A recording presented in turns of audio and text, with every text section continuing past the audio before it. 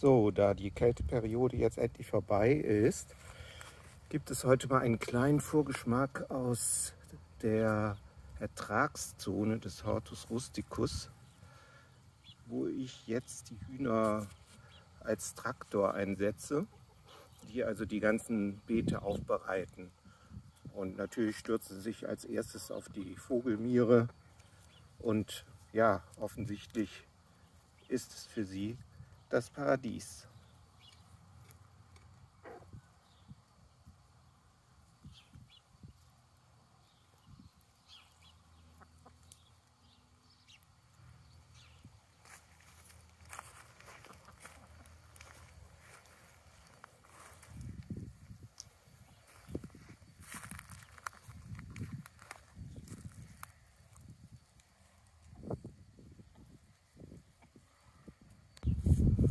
Hier haben sie auch schon schön zwischen den Himbeeren aufgeräumt, die sich hier in diesem Bereich frei ausbreiten können und somit die Pufferzone zur hinten befindlichen Straße bilden.